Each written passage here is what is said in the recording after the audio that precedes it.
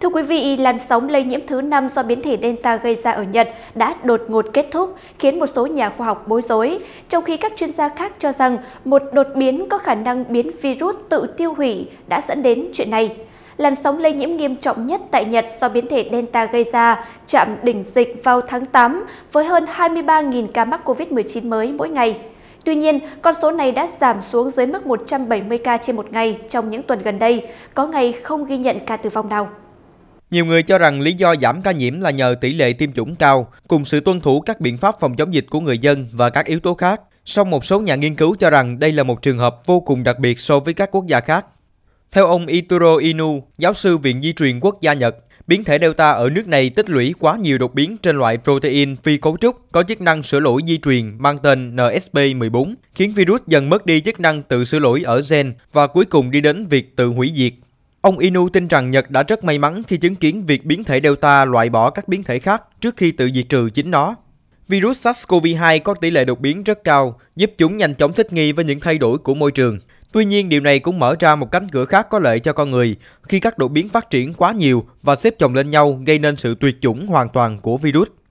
Chúng tôi rất ngạc nhiên khi phát hiện điều này, biến thể Delta ở Nhật có khả năng lây nhiễm mạnh và lấn át các biến thể khác. Tuy nhiên, chúng tôi tin rằng khi ngày càng nhiều đột biến xuất hiện, virus bị lỗi và mất khả năng tự nhân bản. Vì số ca nhiễm không tăng lên, chúng tôi cho rằng trong quá trình đột biến, SARS-CoV-2 đã tự biến mất do mất khả năng sinh sôi. Ông Inu giải thích.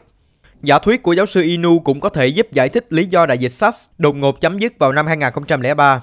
Khi tiến hành thí nghiệm, các nhà khoa học tạo ra các đột biến nhân tạo tại protein NSP14 của virus SARS. Kết quả cho thấy virus dừng tự nhân bản.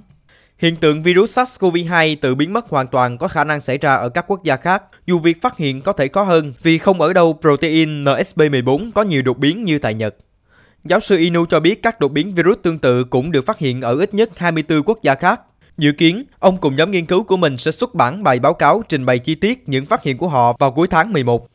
Theo giáo sư Inu, ngay cả khi lý thuyết về sự tự hủy tự nhiên của virus SARS-CoV-2 được xác nhận, thì đây chỉ là một sự cứu vãn tạm thời cho người dân Nhật. Ông tin rằng các biến thể mới nguy hiểm hơn vẫn có thể xuất hiện và xâm nhập vào nước này, bất chấp các biện pháp kiểm dịch và kiểm soát người nhập cư của Nhật, RT đưa tin. Bạn có video hấp dẫn.